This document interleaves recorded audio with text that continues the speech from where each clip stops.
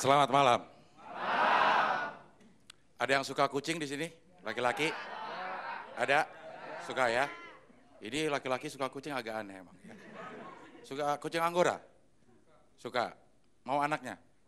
Kawin sama emaknya.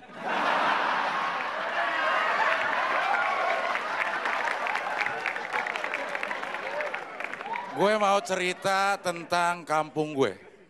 Kampung gue dibesarkan dulu namanya Pisangan Lama. Itu terletak antara Jatinegara dan Rawamangun. Itu namanya Pisangan Lama.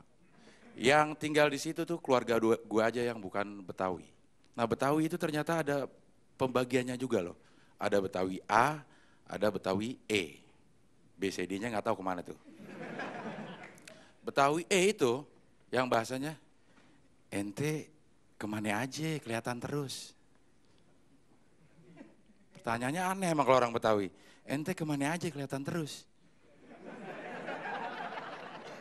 Orang Betawi itu emang susah ditebak.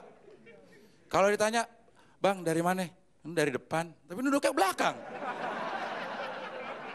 Itu orang Betawi eh, itu biasanya memang lemah lembut, lebih tawadu. Karena itu memang kebanyakan turunan dari Arab gitu di Habib Kuitang misalnya tuh Habib Kuncung di Kalibata ya ada loh nama Habib Kuncung loh iya kalau mengolok-olok Habib bahaya loh.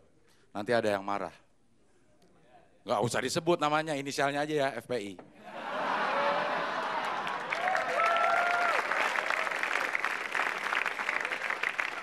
ada Betawi E ada Betawi A. Nah kalau yang Betawi A itu eh lu mau ke mana? Nah itu Betawi A tuh. Nah ciri-ciri orang Betawi A, le- eh, lehernya jenjang. Karena memang suka ditekan, eh lo mau ke mana? Emang kalau gini emang gua ngapa? Mali, pernah lihat Mali kan? Lehernya jenjang nggak? Dia tebel. Urat lehernya itu tebel. Karena memang ngomongnya ditekan. Gua kata juga apa? Ya, gua agak marah. Emang muka gua begini? Di Betawi itu kental juga yang namanya eh, agama. Jadi gue dibesarkan eh, kalau waktu gue kecil itu SD itu eh, sekolah formal. Tapi pasti ada sekolah non formalnya pengajian madrasah. Gue dulu SD Baluel. Itu keturunan Arab yang ada di Betawi yang bikin sekolahan peninggalan Belanda. Jadi begitu Belanda meninggal, eh Belanda meninggal.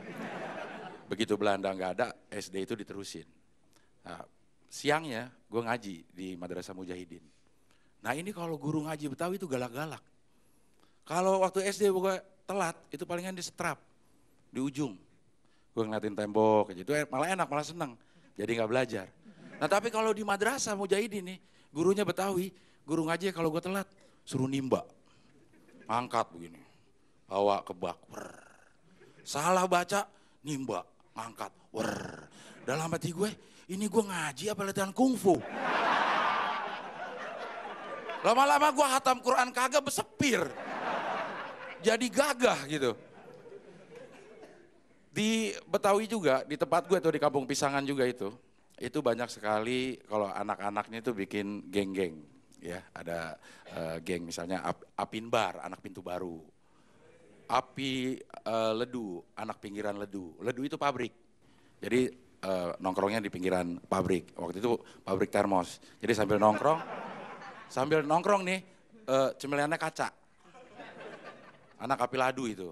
Atau akuba anak kuburan baru. Nah gue termasuk, gue termasuk akuba anak eh, kuburan baru. Ada juga eh, akula, anak kuburan, lo kan?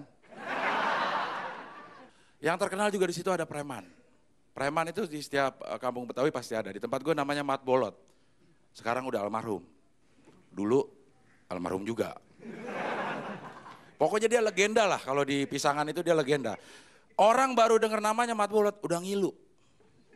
Udah ngilu tuh saking kalau orang Pisangan pasti tahu bagaimana rasanya disebut Mat Bolot, kita akan ngilu. Gua pernah naik motor nih, lagi jalan, dia duduk malangin kan, ntar gue ditabrak lagi. Tapi akhirnya dia meninggal juga karena dia dulu-dulu waktu muda dia pemabokan. Nah ini pemabokan juga di Betawi nih kacau nih. Banyak sekali yang pemabokan. Pemabokannya itu dibagi tiga. Ada yang tukang mabok cimeng, mabok eh, minuman, ada yang mabok obat. Ini kalau mabok minuman nih, gue suka bingung nolaknya karena uh, tongkrongan gitu ya. Del, ayo minum dulu nih anggur nih. Gue biasanya kalau belum tahu nolaknya akhirnya gue minum juga, akhirnya mabok. Del, minum anggur nih. Akhirnya gue tahu cara nolaknya. Begitu suatu saat nongkrong ditawarin, Del ini dulu minum dulu nih anggur. Enggak ada gue pisang aja. Akhirnya kan dia harus belanja. Nawar-nawarin minum ya, akhirnya besok gue gak ditawarin lagi. Ada lagi yang mabok obat nih, mabok obat juga unik nih. Mabok obatnya tuh oh, pil koplo. BK, Rohipnol, Lexotan, Dum Kecrek. Nah, itu dum, dumolit yang nomor satu. Jadi bungkusnya bunyi cek cek cek cek cek cek. Nah itu disebut Kecrek. Nah kalau obat, kalau orang mabok obat itu ciri-cirinya kayak kenek, ngomong nggak bisa sekali. Melayu, Melayu, Melayu, Melayu, Melayu, Melayu. Minggu, minggu, minggu, minggu, minggu. Mana ada kenek Melayu? Minggu, nggak pernah ada tuh. Nah kalau tukang op, uh, abis mabok obat itu pasti begitu. Eh dia, uh, besok, besok, besok, besok, besok. Be lama banget gitu. Besok, besok mau ke mana? Ah gue di rumah aja. Dia, nih gue ada nih satu lagi barang barang lo mau nggak? Bagus nih barangnya, ada nih tinggal satu lagi. Lo mau nggak? Mau gue, ntar gue mana? Lah, lo nggak usah nawarin kalau kayak begitu. Saya Abdel Aryan, terima kasih.